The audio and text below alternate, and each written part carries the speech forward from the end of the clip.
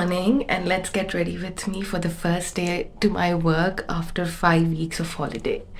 I'm a little nervous, but let's get ready. Out on my sunscreen. I was in India. I used to wake up at 10 o'clock, have my breakfast ready, have everything ready. But now I have to wake up at 5, get ready, cook my own lunch, cook my own breakfast, eat it, and run for work.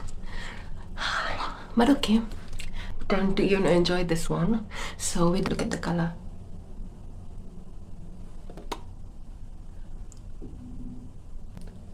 I love it. Apply some blush because why not?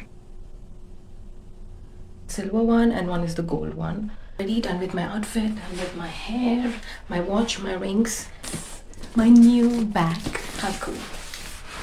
It's freezing outside, so we're gonna be wearing this uh, shawl and this jacket. And I'll see you guys tomorrow. Until then,